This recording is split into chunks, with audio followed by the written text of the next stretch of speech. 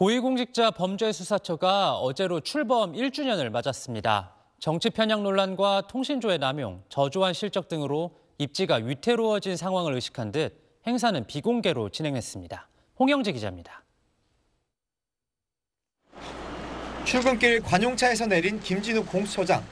담장 밖에서 기다리던 취재진 쪽으로 다가오더니 허리 숙여 인사합니다.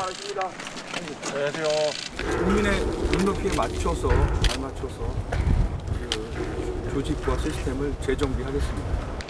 장관을 비롯한 외빈이 여러 참석했던 1년 전 출범식과 달리 1주년 행사는 내부 구성원끼리만 비공개로 차분히 진행했습니다. 김진욱 처장은 기념사에서 국민 눈높이에 맞지 않고 미흡했던 점이 송구하다며 초심으로 돌아가 다시 시작하겠다고 말했습니다. 저조한 수사력과 야당 후보만 수사한다는 편향 논란, 무분별한 통신조회 논란을 의식한 걸로 보이는데 개선 대책으로 앞으로 처장이 사건 입건에 관여하지 않고 내 외부 통제 시스템을 갖춰 수사의 적법성과 적절성을 점검하겠다고 밝혔습니다.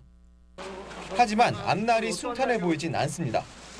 고발 사주 사건과 공소장 유출 사건 등 주요 사건 마무리도 기약 없이 늦어지는 상황에서 경찰 파견 수사관이 대거 복귀하면서 인력난이 심해졌습니다. 사건 전산화의 기본인 형사사법 정보 시스템도 구축되지 않아 행정 업무마저 주먹구구입니다.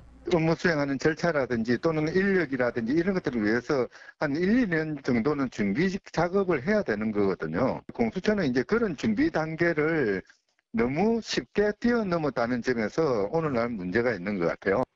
논란 속에 커지는 무용론, 폐지론을 잠재우려면 치우치지 않은 중립성과 수사 능력으로 존재 가치를 증명하는 방법밖에 없습니다. SBS 홍영재입니다.